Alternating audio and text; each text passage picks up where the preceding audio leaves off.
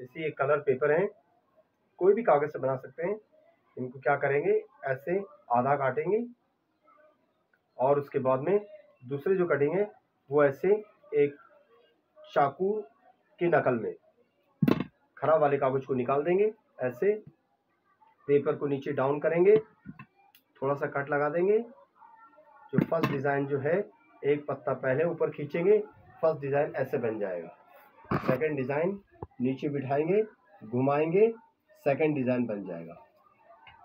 अच्छा लगने पे रख सकते हैं। अगर इससे हम थर्ड बनाना चाहेंगे, सभी पेपर्स को ऐसे नीचे डाउन करेंगे, एक लोटस फ्लावर बन के तैयार हो जाएगा।